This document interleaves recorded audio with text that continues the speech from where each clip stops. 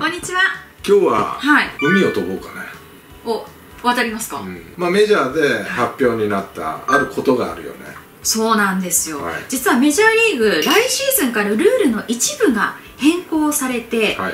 ワンポイントで投げるピッチャーっていうのがはい。いなくなってしまうんじゃないかと。ね。今そういうふうなことが言われてるんですが、はい。実は、えー最低打者3人に投げるかあるいはイニングの終了まで投げなければそのピッチャーの交代というのができなくなる。み認められない認められないということなんです、つまんないよな。いやつまんないっていうかさそうですよね。戦略戦術っていうのは、はい。じゃあどこにはどこにあるんだって。俺はね勝負っていうのがさ、、はい。ろんな駆け引きから面白さが生まれてきてて、はい。じゃあ左のワンポイントで、うん。じゃあ使えないんだったら、うん。じゃあどうすんだって、うんでイニング完了しなきゃダメなんでしょ？そそうしたらツーアウトまあランナーどこでもいいや。はい。一人しか投げれないんで。もうツーアウト限定で投げさすとかさ。そうですね。しかできないよね。そうなんですよね。そうなんですよ。これはメジャーの話でしょ？あこれはメジャーの話。なんで俺がこうやって熱く語ってるかっていうとさ、はメジャーからはい。導入されたものっていうのは、はい。必ず日本に入ってくるんだよね。例えば、はあのリクエスト制度もそうだし、はいセカンドのスライディング野手に向けていっちゃいけない、はいベースに行かなきゃいけないとか、はい。全部アメリカがあのコリジョンもそうだよね。はいあと申告敬遠もそうですか？だからそのキャッチャーに体当たりできないとか、あはい。全部アメリカが導入して1年後ぐらいに日本が導入するようになるわけよ。はい。でなんで右習いしてるんだって日本は日本の独自の野球すればいいのにって、うんだって日の丸をつけるって、国民喜ぶでしょ、はい。みんな注目するじゃない、ではじゃあそこでなどうやって勝ってきてる？スモールベースボールでしょ？そうですね。ね。はい。だからいろんなやっぱ戦略があるわけよ日本って。で逆に言えば予告先発なんか大っ嫌いなわけよ俺、あゆ前もねね予想先発で、うん。ね誰が来るんだっていうそういうところからあの入っていく方がやっぱ勝負としたらすごく駆け引きがあって面白いわけよ。うん。もう全部丸裸でやりますみたいもうね選抜ももう、うん。どうぞ明日これです。どうぞみたいな。うん。もうそそれはねいろんなあのまあ例えばアナウンサーとかはい。予告先発だともう一つの資料だけでいいわけよ、はい。予想先発だったらもう何人も用意しなきゃいけないわけ、だからあの予告先発の方がいいとか言うけど、はい。勝負ってそういうもんじゃないんだよね。うん。これ孫子っていうさ、い。人が言ってんだけど勝負をする上でまずスパイ行為から始めろっていうわけ。うん。それはなぜかというとまあ例えば野球に例えると、はい。明日の先発予想は誰なんだって誰が来るんだっていうのをスパイを使って探る探る。向こうの向こうあの中国の戦国時代っていうのは敵がどういうふうなところから攻めてくるかっていうのをスパイを使って事前に知るというさ。うんうん。なんかね勝負ってねそういう面白さがあるんだよね。その駆け引きだったりとか、戦略練るとか。そうそうそう。はい。だからさワンポイント使えない。ねはい。そうなんです。いやそしたらさ戦略も何もないよね。もうないですね。何にもなくなる。だワンポイントで出てきた投手が結局アウト取れずにイニング次いけなければ、うん。変わっちゃいけないってこと変わっちゃいけないんでしょ。ですよね、うん。左で出てきてイニング完了しなきゃいけないわけでしょ。そうなんですそうなんです。左間になったらどうすんの？終わりだよ。どうなっちゃうんで時間短縮とか言ってるでしょ、そうなんですよ。やっぱりそのこれを導入したのは時短じゃないかっていう、でもね野球っていうのは、はい。さ3イニング終了するのに大体1時間ぐらいかかる。大体3これが3つあるわけでしょ、はい3つにくくりをすると、うん。3時間かかるゲームなんだよ。うん、いやそれが嫌だったらもう7回にしちゃえよみたいな。あもう9回とかでもなく、うん。延長もせずにもう7回で。延長になったらタイブレークでいいじゃないかって。あもう8回からってことですよね、うん。つまり7回戦そうにしたら。そうそう、ん。もうタイブレークノーアウト1、二塁から始めればいいじゃないかって、俺そう思うんだけどさ時間時間時間時間って言ってさはい。結局さあのーなんていうの？ビデオを導入して、ね、リクエスト出されて、あちょっとタイムってビデオ検証します。はい。結局長くなってんじゃないのっていう思いがするんだよ。考えてまあ正しいことは出るかもわからないけども、は結局時間は長引いてんじゃないかってうん。思うわけ。申告敬炎もどうですか？あれは？いや申告敬遠もさ 俺らなんかやってる時に、はい。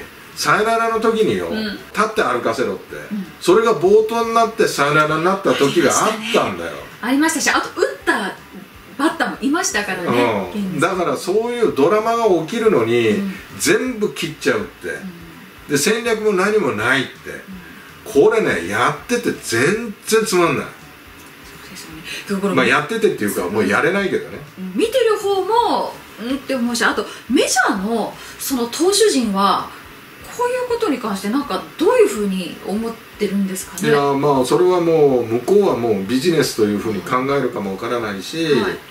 あのやっぱそれだけ仕事場が増えるということはお金になるっていうふうに思ってるのかもわからないし、はい。それはもうわからないけど、うん。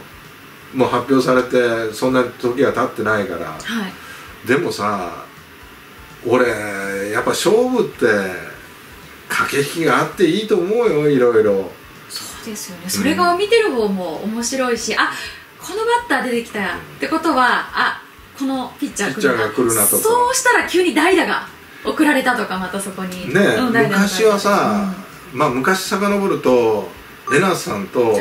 大江の対決とかさ、はい。近いとこで言えば、野本清原とか伊良部と清原とかさはいいろいろなんか名勝負って言われた、その名勝負に対しては逃げなかったピッチャーが、もうとにかくまっすぐだけでいったって。いやいやここでフォークいったら簡単に三振取れるんじゃないのって思うけどそこは意地になっていったという、そういうことがあったわけね、それとかまあピッチャー同士だったらダルビッシュと岩隈が投げ合った時に2人ともね5回ぐらいまでノーヒットノーランでいくんだよ。はい。もう意地の張り合いだよね、だからねこういう名勝負がねこういうことによってルール改正とかさいろんなことによって今名勝負って言われることがある。誰かと誰かがの対決が楽しみだとかさ。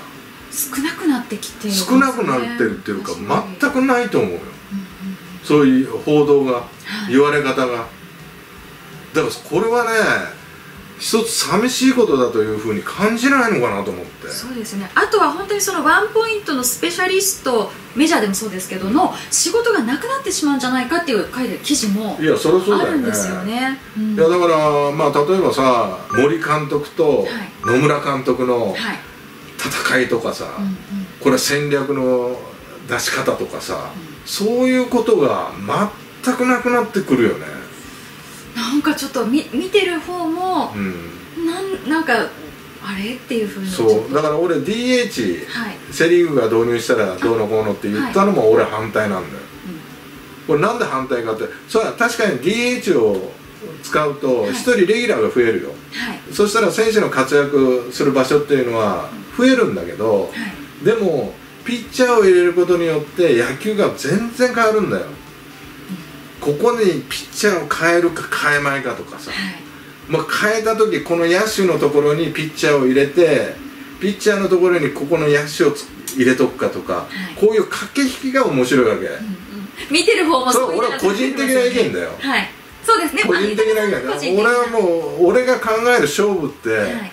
やっぱそういう複雑な方が好きだから、うんうん。DH なんか簡単だもんもちろんその例えばパ・リーグみたいに DH をつけた方がピッチャーもパワーピッチャーがセ・リーグに増えて、まあ、今回の日本シリーズでもあったようにその巨人がもう一勝も勝てなかったっていうのもあったじゃないですか、うん。それで DH 制っていう人の意見ももちろんあるいやそれはけれどもっていうそれは人の考え方だから、それはそれで否定はしないよ、はい。だけど俺の考え方を言うと、やっぱそういう俺は勝負事は駆け引きがあって強いチームが勝つんじゃなくて勝ったチームが強いという体でいるから、はい。だからそういうねもうねワンポイントも使えない。うん。ね駆け引きできない。じゃあ監督なんかいらないじゃないみたいな。AI で数値出してそれを伝達する人だけでいいんじゃないって、やっぱ人が考えながらやるのがうん。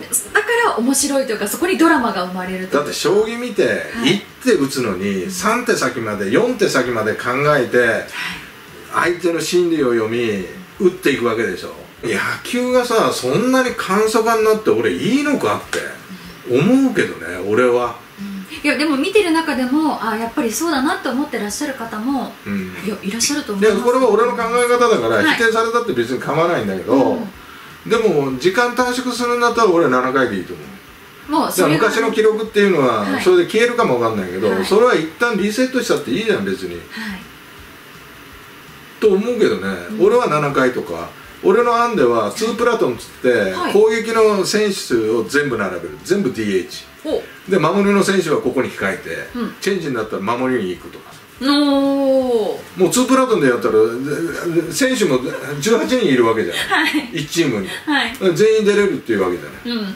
うん。で例えばしんのすけみたいに、もうあの年を取ってまあもう引退するけどね、い。年を取って足の遅い選手はその選手に対しては特別ダイソーが出せるっていう。うんうん。そしたらスピード感も出てくるし。はい。もうそういう野球もう根こそぎ変えてもいいよね。野球を。こうなったら。うん。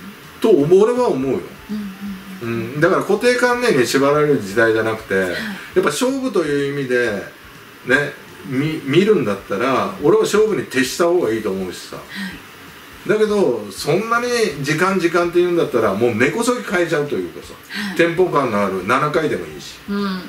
7回だったらもうバンバンピッチャーいくしね、もうそうですよね、うん。イニング数が少ないと思えば、うん。もう初回からガンガン飛ばしていくっていう、だからまああんまりなんていうの、駆け引きができないような勝負は最終的には俺はつまらなくなっていくと思うよそれと日本日本のシステムっていうのはやっぱ頭で考えることが好きなんだよね多分。そうですよね。予想とか、うん。まあ、例えば先発予想だとか考えることが好きから、あのー発想的にはあるから勝負事っていうのは、はい。だからあんまりもう日本の野球を確立したらどうなんだと思うよね。もうそこはもうメジャーとかとはもう別にして、うん。メジャーとかパワーとか、うん。ね、スピードだとか、はい。めちゃくちゃあるわけ。でとんでもない選手もたくさんいるわけ、だけど日本っていうのはそんなめちゃくちゃな選手っていうのはいない。はい。やっぱ何か手を打って、うん。何か工夫してやっていくっていう選手が多いわけ。私意表をついたりとかもそうですもんね、だから全部導入する必要はないということだよねメジャーのあこれはいいかなと思った部分だけを導入して、ね。合わないと思ったらそこを別にメジャーに一緒にこうあのね習いじゃない前習いじゃないですけどそういうふうにしていく必要はある。とね、ううん、だからないというん、ないということですよね。そうそうう。ん。まあいかがでしょうかね。はい、皆さんはいかがでしょうか？私の思いをぶつけてみました。はい